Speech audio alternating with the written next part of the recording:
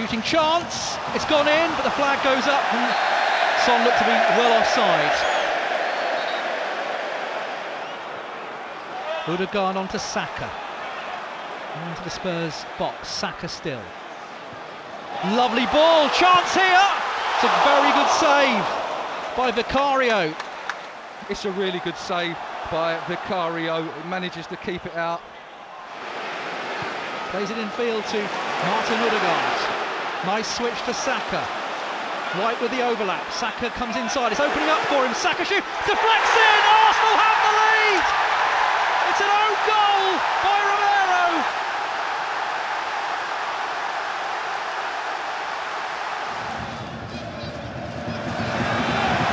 Space. Deep across. Raya got a hand. Johnson. Raya makes the save. Second time Johnson has forced a save out of the Arsenal goalkeeper. Now Maddison, he's turned away from Saka, still in. And they've scored this time, and it's Son. So Tottenham have equalised.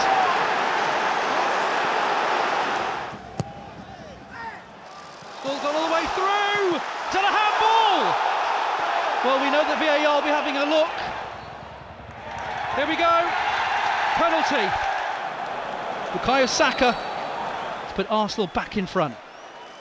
And he scores! Vicario goes the wrong way.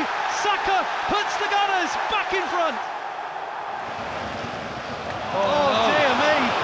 Here's Maddison. Tottenham got two on one. Maddison on to Son. And he scored. It's 2 2.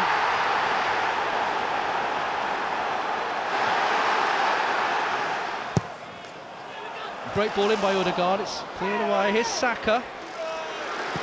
Shoots. Oh, tipped away by Vicario. Nearly crept in.